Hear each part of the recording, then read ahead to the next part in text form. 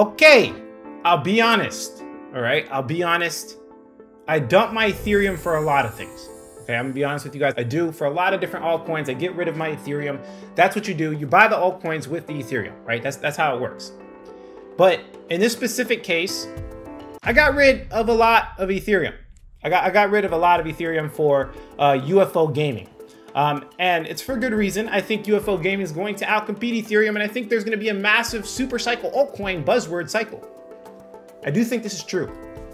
Even though this is a buzzword, I do think it's true. So in this video, we're going to be going over Bitcoin, of course, the altcoin cycle, and then I'm going to hit it home with a UFO gaming review and why I purchased so much. Keep watching.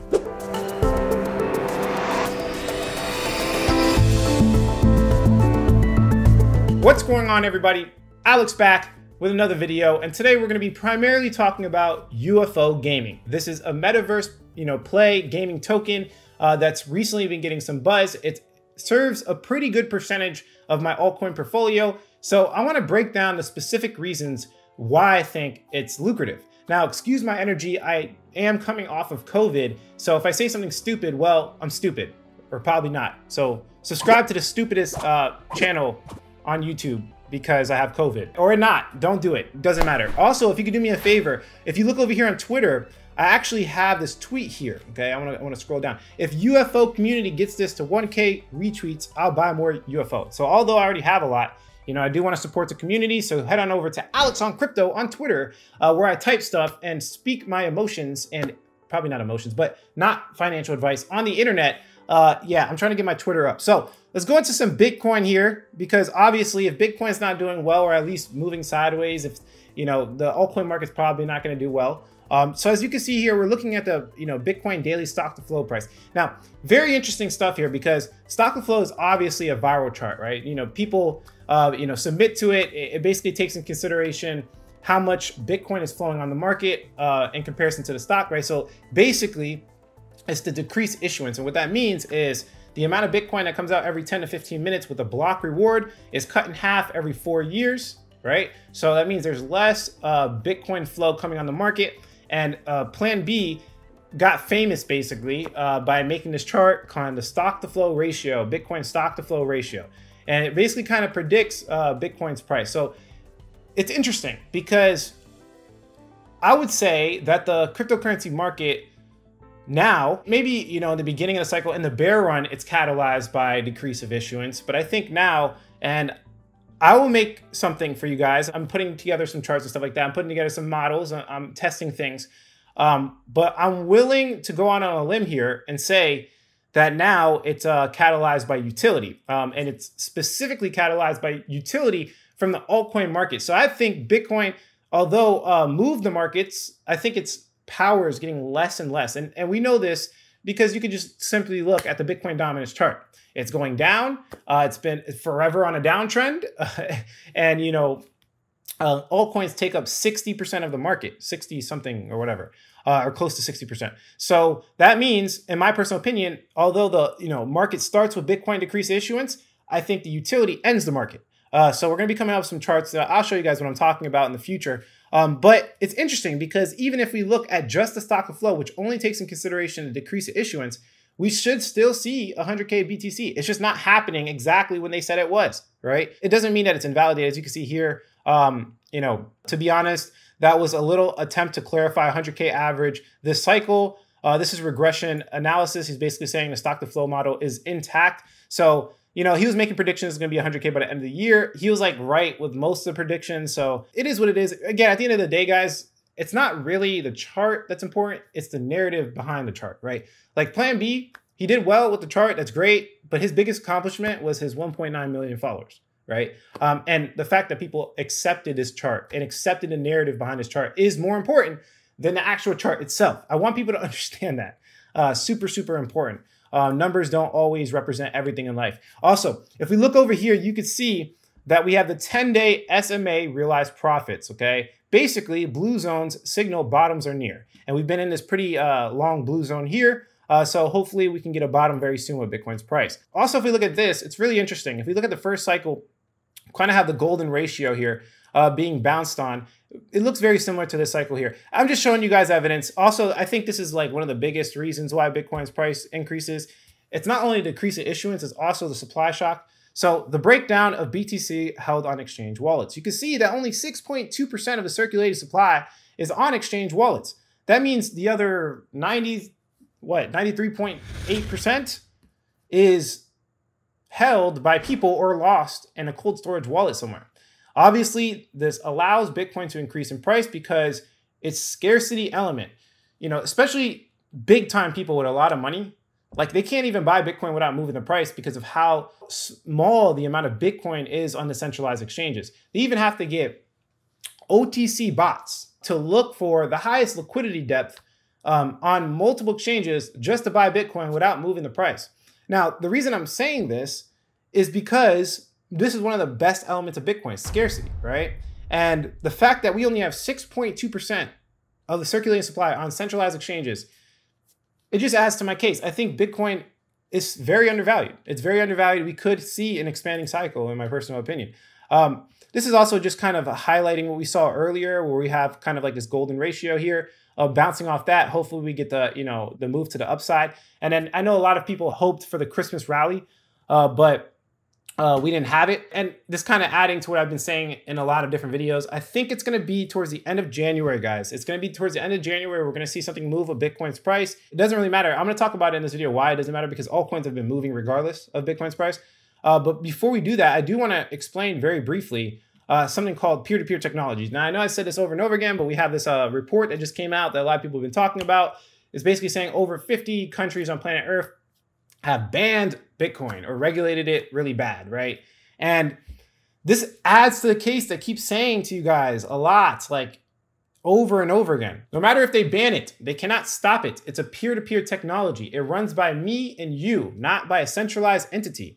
So this is adding to what I'm saying. And not only that, but like even this, like there's been a lot of negative press on El Salvador's president and how he's forcing people to adopt Bitcoin and forcing people to adopt his wallet um, and there's also reports and claims, as you can see from here, um, of people saying that their Bitcoin disappeared on the wallet. This is the beauty. This is the beauty of peer-to-peer technology is that although this guy maybe, I don't know, allegedly forced people to use his wallet and then he's robbing people with his wallet. Because if you read it, it basically says that his wallet's not open source, so nobody can verify anything. So although we have these centralized entities that force people into crypto, whether that's uh, government forcing people to use their uh, digital currency or their you know stable coin, right? People ultimately wisen up, right? They wisen up and then they start using the actual peer-to-peer version. Okay, so they can get in a bad way. People are always like, oh, you know, the United States are going to come out with their own digital currency. It's going to be end of the world, blah, blah, blah. It's like, no, that's probably a good thing. Like, although it's a bad onboarding ramp, people eventually wisen up and understand that they need to be using the peer-to-peer technology. So Bitcoin's virtually unstoppable. Macro environment is never been better for Bitcoin success.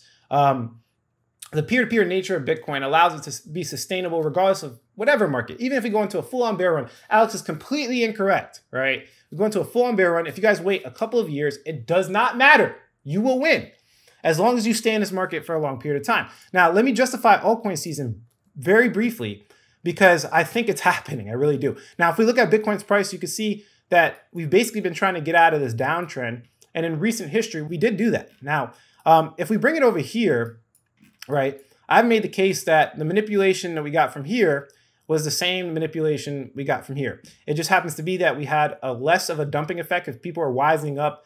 Um, you know, whoever is manipulating the market, the single actors can't dump it as much as they used to.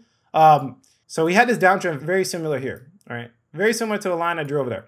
Now, once we broke up, which is what we basically did right here, once we broke up, right, we had to get over this kind of hurdle here to really confirm a bull run. So we're in the same boat. We have to get over like kind of this hurdle here. Um, and if you think about it, it's very interesting. But if we do get over that hurdle, we're like really close to all time high, which gives me, again, a very bullish sense. It's like, look, we're talking about breaking all time high. That's the conversation right now, right? So don't take your eyes off the prize. This is a dump. It is scary, but this is not the end of the bull run. We are making a trend to the upside, in my personal opinion. Now, regardless of that fact, I mean, altcoins have been benefiting like crazy, right? Regardless of where Bitcoin goes, look at this top 100 altcoins versus Bitcoin dominance. So when this chart goes up, we have 100 altcoins, the top ones, doing better than Bitcoin. And you can see we've been making this trend to the top, and it looks like we're probably going to break out.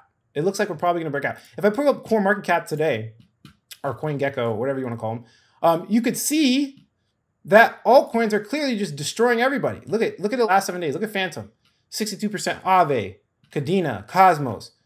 Like altcoins are just obviously doing really well right now. They're just regardless of where Bitcoin is going, altcoins are getting the adoption. My portfolio's up like 200k.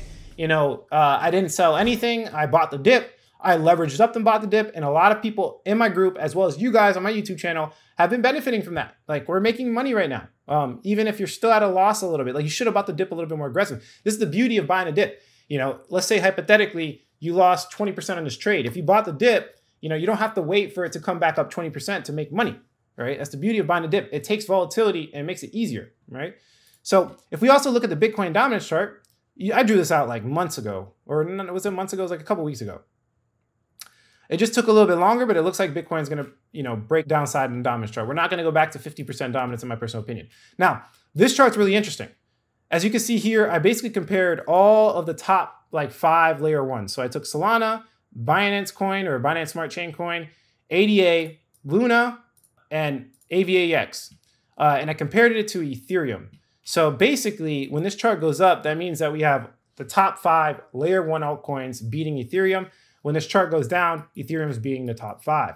So you can see we've just been on a, a rally up. And, and this adds to what I'm saying. Again, people are adopting altcoins at a rapid rate, right? They're submitting to the utility narrative. They're saying, hey, Bitcoin's too slow. You know, it's too expensive. It doesn't do anything. Let's move on to Ethereum. And then they're saying, oh, Ethereum's too slow. It's too expensive. It does stuff, but it's expensive. Let's move on to Solana, or let's move on to ADA, or let's move on to Luna.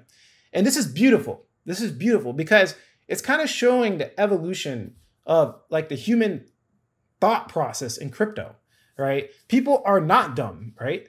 They're understanding things, right? They're not being maximalist. I think this like maximalist concept is like a lot smaller than we think. I don't think there's really that many Bitcoin maximalists anymore. If we look at the metaverse index, you can see the metaverse has been benefiting. You know, I, I bring these charts up like almost every video on purpose uh, to show you guys that, you know, what we're doing here is playing out. Okay. I might not be perfect. I, I won't be able to call things on the head, but if you study this market long enough, you can definitely see where the trends are going. Um, you can see what's going on and you can act before anybody else. And that's how you make money, guys. It's called trend hacking. If we look at the total two, this is basically looking at every uh, market cap excluding Bitcoin. You can see that we're making a run for the next all time high. Like, clearly, altcoins are benefiting the most. And if we look at the altcoin index, I don't, I don't really like this index too much, but if we scroll down, look at the altcoins that have been benefiting. And I've been screaming this in my videos, right? People are underestimating it. I even did the BitBoy interview, and I don't think he. Maybe I should have asked him a little bit more. Maybe he believes in it, but like he was still undershooting the metaverse, in my personal opinion.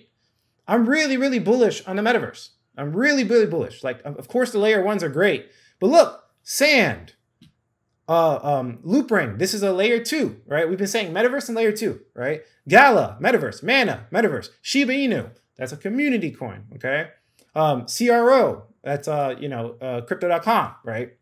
Luna, layer one, Matic, layer two, HNT. This is like um, this is kind of like a, a, internet, right? But in general, you can see the vast majority of them are layer two, layer one metaverse. So our narrative is playing out pretty well. Um, and if we look at the search term of metaverse, non-fungible token, Bitcoin, DeFi, and Shiba Inu, you can see that obviously Bitcoin's getting the most search volume, and none of them have even gotten close. So this is all adding to the case that I, not only do I think uh, the bull run's not over, I do think that altcoin season is going to be uh, pretty lucrative, guys. When it does happen, um, you know, when we get retail coming in and we see these search terms, you know, increasing uh, in comparison to Bitcoin, and we see like more adoption on the altcoin side, uh, it's going to get pretty hectic. Uh, so hold on to your seat, guys. Hold on to your seat. Also, some recent news. You guys know, uh, you know, we said in our live stream. Uniswap comes to Polygon, sending Matic to record high. Matic's doing well. Um, you know, that's a big question for a lot of the layer ones uh, that they have to answer. Uh, why would people use uh, their layer one when they could just go to uh, Matic, which is integrated directly with Ethereum? That's a big question a lot of these layer ones going to have. So don't be surprised as far if I start getting rid of layer ones. Uh, to be honest with you, because you know, like I said, you know, they have Ethereum has all the infrastructure, they have all the developers.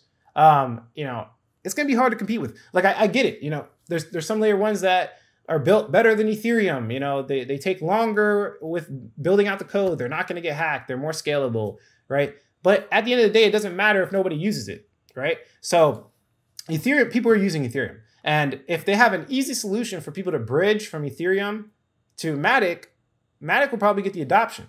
Um, and I know this because Matic has the best TVL right now. As you can see, total TVL, 5.62 billion. And if you look at any other layer two, Matic's getting an adoption for sure. Matic is uh, winning. And they're also coming out with ZK rollups, which you guys know I'm super bullish on ZK rollups because of the nature of the tech. The technology is superior to any other layer two we've ever had. Pay attention to that. Let's jump into UFO gaming. So you can look at my portfolio here. I want to be very clear with you guys. This is not my complete portfolio. I have multiple accounts. I have like more than 10. Okay. I'm sure a lot of you have a lot of accounts as well. This is cryptocurrency is crazy. But this is my high risk portfolio. This is like where I show fundamental secrets, my trades, right? This is like where I'm getting a little bit crazy. I'm not being safe, right? This is like the risk portfolio. And you can see that I have a lot of UFO. So I'm practicing what I'm preaching. I have 53,000 in comparison. So it's a high ratio. I do believe that UFO gaming is a little bit undervalued. Now, it's not, again, all rainbows and butterflies. I'm not going to sit here and talk positive throughout the board because there are some negatives and downsides. But if we look at the all time high, you can see that we have a pretty good leap to the all-time high. So it's not like I'm buying a top at all. Um, and I will say too, just to elaborate on this a little bit, my original investment into UFO was like less than 10 grand. Um, I took profit. I took a lot of profit. I think I took like 30 G's out and it's still this number. Uh, so I hold UFO partly because I believe in it, but also some of it is because I just made a lot of money off of it. Um, and it turned into that amount. So just take that into consideration because uh, I know a lot of people make investment decisions off my videos, even though this is not financial advice. People just do it anyways. So if we look at the website, it's pretty much doing what everybody else is doing uh, with the metaverse. They're coming out with the land sale. They have uh, the NFTs that can generate yield. They have DeFi in the metaverse. Their, I guess, theme is like a dark metaverse. Um, but they're pretty much hitting all the check boxes for me. Uh, and, and the reason I say that is because, you know, they've been pretty much doing what they said when it comes to uh, the roadmap. If we come to their roadmap, you could see that they have the light paper release, they've done all that. Um, and they actually just recently launched on KuCoin, so they're getting a centralized exchange liquidity, which is good. This is why the price uh, jumped in recent history. But look at quarter one of 2022. NFT minting, they're, they're coming out with the vast majority of everything virtual land, PvP, PvE, multiplayer co op with friends, official launch, beta release this is what I'm waiting for with like a lot of the metaverse coins. Like we're all waiting for the launch, right? And once that happens, then I might take some profits. Uh, but we still have good catalysts uh, for the price to increase. And if we come back to the actual market cap, it's not the smallest market cap, but 722 mil is a good uh, sweet spot, in my personal opinion. It's like at a good spot to where it's not going to dump, right?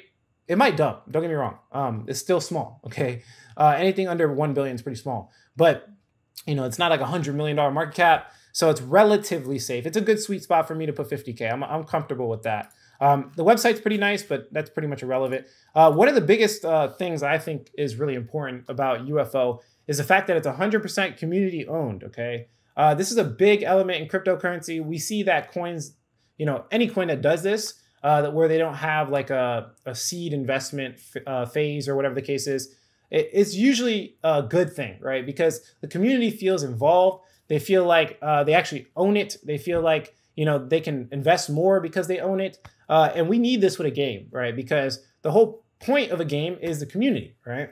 Um, this is not like a super DeFi, you know, uh, you know, innovation in uh, finance. No, this is like communities adopting the game and playing it and investing more because they really believe in the game, right? So being community owned is a big thing for me. Um, they also are obviously integrating with Polygon, which is a big thing that I push for. If you are looking at a metaverse gaming token and it's not on some type of layer two, if it's not on StarkEx or StarkNet, um, you know, or if it's not on a Polygon or some type of layer two scaling, like I pretty much will pass, okay? Because the gaming industry needs the high transaction speeds, guys, and the cheap cost, especially the cheap cost, because you know, to mint these NFTs, to play these games, like it can't be expensive. It has to be almost free. There has to be like a free tier, right? So I'm glad that they're integrating with Polygon, which in my personal opinion is going to be the best, um, you know, layer two uh, because of the ZK rollup technology that they're going to be coming out with, and because of the liquidity they've already attracted. Uh, so this is a good thing. Now, this is the biggest problem with UFO gaming by far. Okay, they're an anonymous team. And this is a problem for me. I even reached out to them to try to get them on an interview. They don't want to do it because they're anonymous. Um, but they've had a security audit uh, with their liquidity pools and stuff like that. And they're about to come out with some security audits for their actual game. Uh, so they've done their due diligence. Now, I just want to be clear with you guys um, when it comes to security audits, they are not foolproof. There's been so many different times where there's security audits that come out that have bugs in them. So this is like my biggest problem is we need to point the fingers at someone, right? I, I don't want to get rug pulled by an unknown entity. So UFO community, let's push the founders of this coin to not be anonymous, right? Reach out to the founders, go to the Discord, go to the Telegram, tell them to come on an interview. They don't have to show their face or their identity. Just come talk to us, right? You could even have somebody else speak for you and you could type, right? But let's get this guy out of because I'll endorse it more. They did not pay me, by the way. Nobody pays me. You guys know I don't accept sponsorships for nothing. But it would make me way more confident if we had someone to point the fingers at if there was something that went wrong. Okay. Hopefully they they're not going to rug pull us, right? Um, if there's something happens, we need someone to point a finger at. And I think having an actual leader of a project is really important, even though you take all the security measures with audits from uh, hacken.io and you're, you know, you're auditing the game. To me, that's not enough. And it would give me way more confidence. I'll probably invest more and talk about UFO a little bit more if we had uh, the founders come out public. But yeah, that's my only criticism. Pretty much everything else uh, looks good. It looks good. And I'm saying this because they don't have the game. Um, but they're getting adoption. The community looks outstanding. It's growing. It's big. They have like 100 and something K followers on Twitter. Um, so, you know, I have good hopes. And, and if I see anything negative, I'll let you guys know. If I see any red flags, you know, I'll probably sell. Keep in mind, guys, my portfolio is big in profit, you know, when it comes to UFO. So it's not pressing to me. Like I don't need to sell it. Uh, but usually, just to be clear, with anonymous founder, I wouldn't have invested as aggressive, in my personal opinion. If I had to start from zero and I never bought UFO, this would definitely turn me off. Okay, so that's the biggest problem with UFO. Everything else looks really good to me. They have a big community. They're hitting the right niche. They're going layer two. Um, you know, they're 100% community owned. Uh, you guys let me know in the comment section below if there's any other red flags or if there's any other uh, benefits that I missed out on. I appreciate you guys for watching this video. Again, head on over to my Twitter. If I get a thousand retweets, I will buy more UFO and then I'll probably sell it. Just kidding. I'm not going to dump on my following. Of course not. If you like the quality of this content, hit like. If you don't, leave some constructive criticism. Subscribe for more video updates. And like I always say, if you don't get with it, you will get left behind. Thanks for watching this, guys. Catch you in the next one.